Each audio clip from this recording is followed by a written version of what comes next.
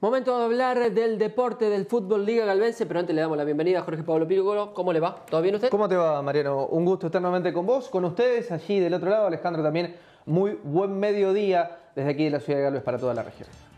Seguimos hablando de Liga Galvense de fútbol. Muchos goles se han registrado en la undécima fecha. Exacto, porque ya repasamos durante esta semana el clásico de Galvez, el 2 a 2 entre Santa Paula y Barrio Oeste. También estuvimos en Irigoyen para lo que fue empate 1 a 1 entre Ceci y la Pepita. Y ahora le mostramos, así se dice, le mostramos el eh, clásico de Irigoyen con victoria de Unión ante Irigoyense por 3 a 0.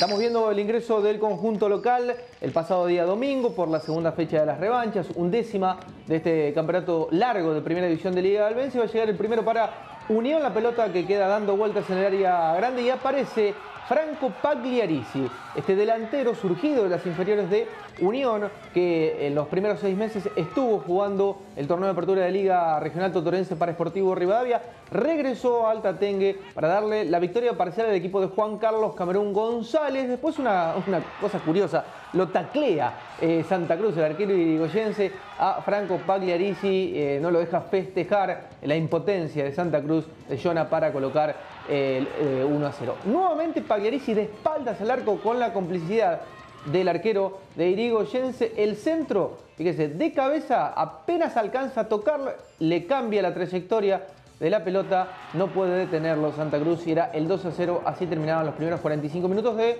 un partido que dirigió Rubén Bravo el Galvense. Después esta en el complemento iba Carrizo y sobre la raya despejaba eh, mm, en este caso Ocampo. Iba a llegar el 3 a 0 definitorio, otro que regresó Carrizo, ¿sí? Para colocar el 3 a 0, gran toque de zurda ante la salida de los dos defensores y el arquero de Irigoyense para colocar el 3 a 0 definitorio. La victoria, el clásico, quedó para el Tatengue por 3 a 0 en condición de visitante ante Irigoyense. Victoria en la segunda fecha del campeonato de primera división de Liga Albense.